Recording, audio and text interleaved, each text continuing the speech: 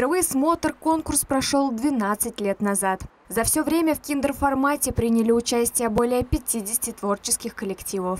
В этом году в областном центре фестиваль проходит в седьмой раз. Участники – частные и семейные театры, коллективы из детских садов, школ, библиотек, домов творчества разных возрастов.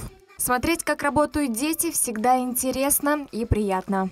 Ожидаю эмоций, ожидаю открытий, ожидаю, потому что э, маленькие зрители, вот такие непрофессиональные, вы знаете, вот именно они и совершают открытия, которые даже нам потом, профессионалам, в чем-то помогают.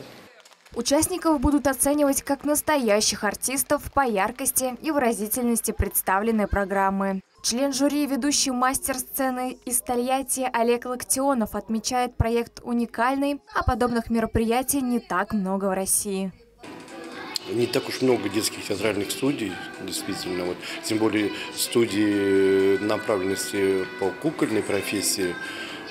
Но я считаю, что очень нужное дело, молодцы. Вот. Ульяновская область, конечно.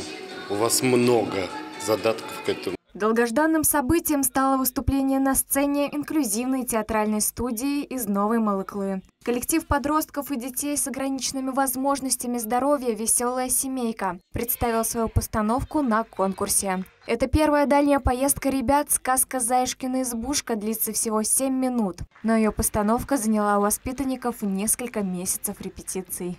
Разные возраста принимают участие в нашем театре вот, на помощь детям, в которых мы открываем социальную адаптацию да, к нашему окружающему миру, помогаем справиться с проблемами, э, хоть пусть на короткое время, да, на один миг, но родители и дети просто счастливы в нашем театре.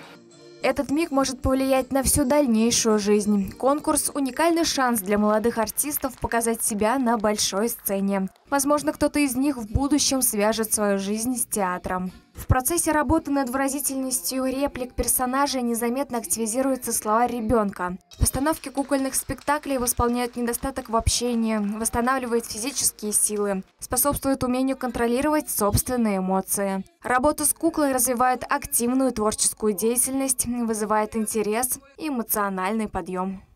Дает еще спокойствие он у нас вот этот не сидит в одном месте, например, да, после занятий, вот они уставшие приходят, веселые. В этом году жюри конкурса «Киндер-формат» предстоит оценить 8 постановок. 1 апреля, в день рождения Ульяновского театра кукол, состоится подведение итогов и награждение победителей конкурса. Алина Тихонова, Герман Баранов, Михаил Балашов, Улправда ТВ.